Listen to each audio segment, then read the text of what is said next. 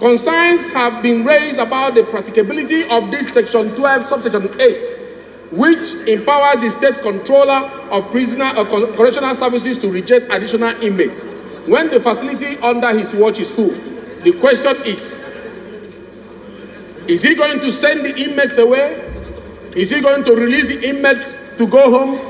Even when they have been convicted of crime that is not healthy for the society? The way forward, Mr. Speaker, that is proposed by this bill is that we need to build more prisons.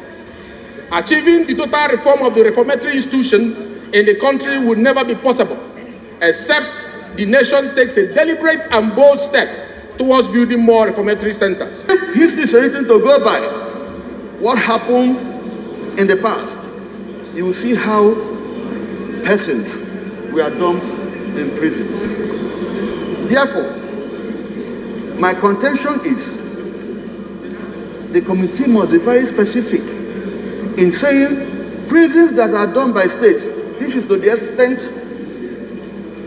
they will be. It's only when you have a democratic system that all these ideals can begin to work.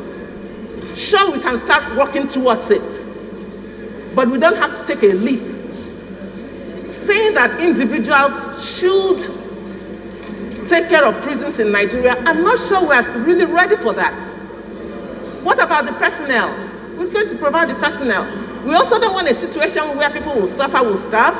At the, the flip side of it, we also don't want a situation where we're going to have uh, uh, holiday camps. I am of the opinion that since it's not privatization or making private individual control that sensitive sector, it is only removing it from the exclusive list and uh, from the concurrent list and making the state government make legislation that will aim at organizing and controlling the activities of prison, prison sector.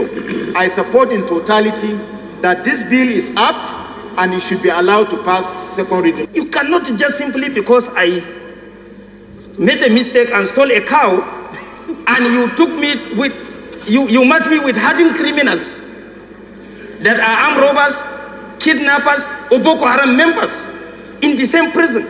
So how do you reform me? How do you correct my attitude?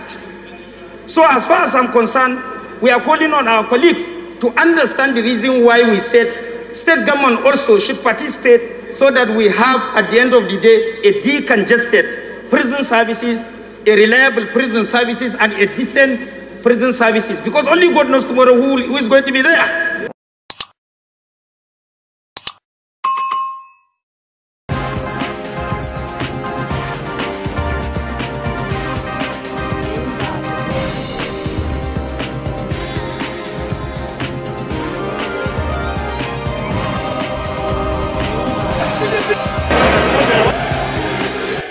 关系。